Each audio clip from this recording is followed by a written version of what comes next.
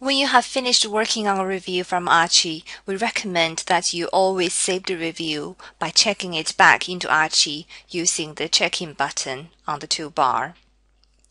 This ensures that most recent version of your review is safely stored and can always be accessed from Archie by your co-authors and editors.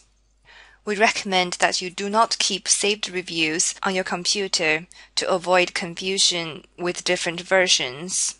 However, if for some reason that you do need to save a review to your computer, go to the File menu and click on Save As. You can open the saved review by going to File menu and click on Open.